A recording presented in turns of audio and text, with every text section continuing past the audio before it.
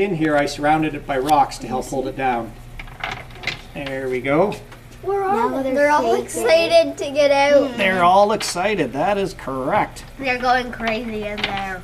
This is kind of like a big move for them. you, it's there's a party. That's right. It is pretty cold on my poor arm right now. It's like the movie Home. They're gonna. Is it freezing? I'm guessing that the ones that aren't moving very fast are gonna be all curious. and- Okay, so the fish, when I let the alevins out, they're going to want to go down into the gravel, Well, and maybe that's not all of them. they play hide and seek at that point, and they will stay down in there. And why do you think the alevins would want to hide in the gravel? Because they're scared. Why wouldn't they want to be swimming up or sitting on top of the rocks right now?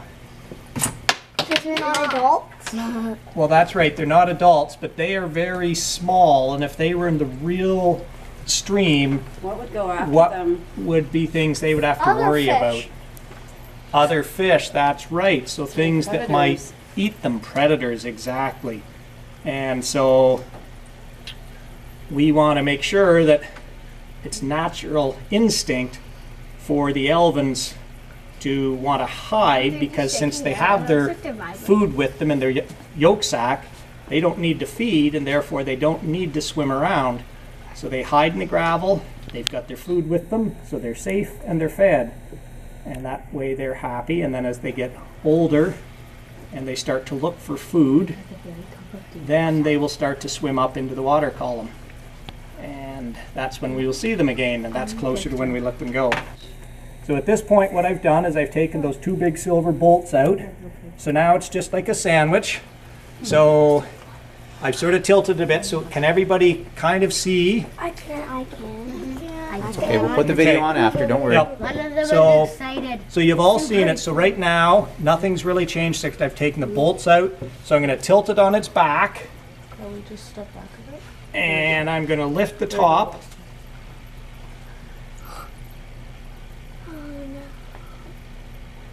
Let them swim. And so they're sitting down. Now, some of you that are up front, do you see little things that are floating away in the front?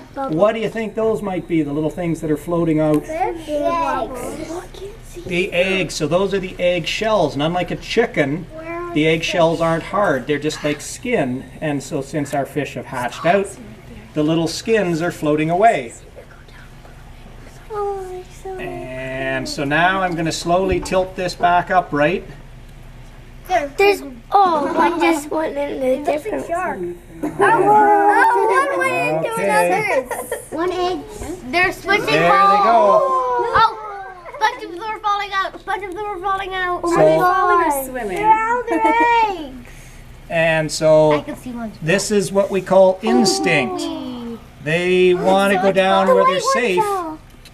That white egg fell. And so the instinct causes them, that's right, they're curious, but they go down to the gravel.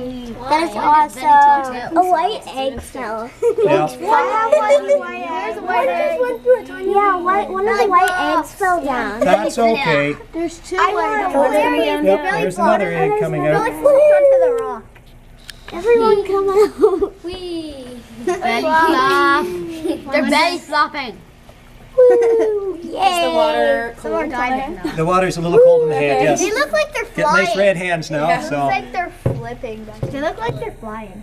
There you go. That one didn't look like it wanted to leave. I'm free. Just like I don't want to get out of here. There's one in there. One doesn't want to come out. No.